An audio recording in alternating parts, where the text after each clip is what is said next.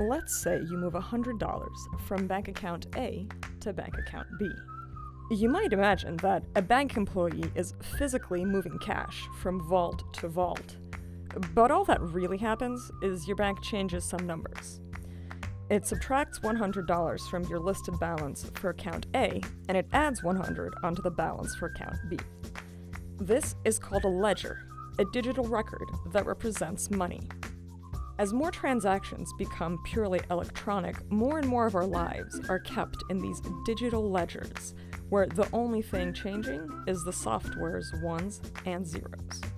In this example, you don't control your own ledger, the bank does. But what if there was a ledger that no single person or company controlled? That's the idea behind blockchain technology. Blockchain is a digital ledger that is publicly accessible and stored across a network of computers. And instead of a bank or government verifying your transactions, that work is done by computers solving complex math problems.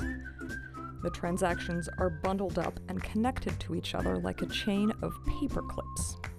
Trying to break into one part of the chain would affect the entire network, so blockchain is considered virtually unhackable. Of course, the best known application of this technology is digital currencies like Bitcoin. But this form of decentralized and permanent record keeping could have many other applications. It could create a system of personal IDs that doesn't require your government to verify who you are. And some people even say it could create entirely new forms of money.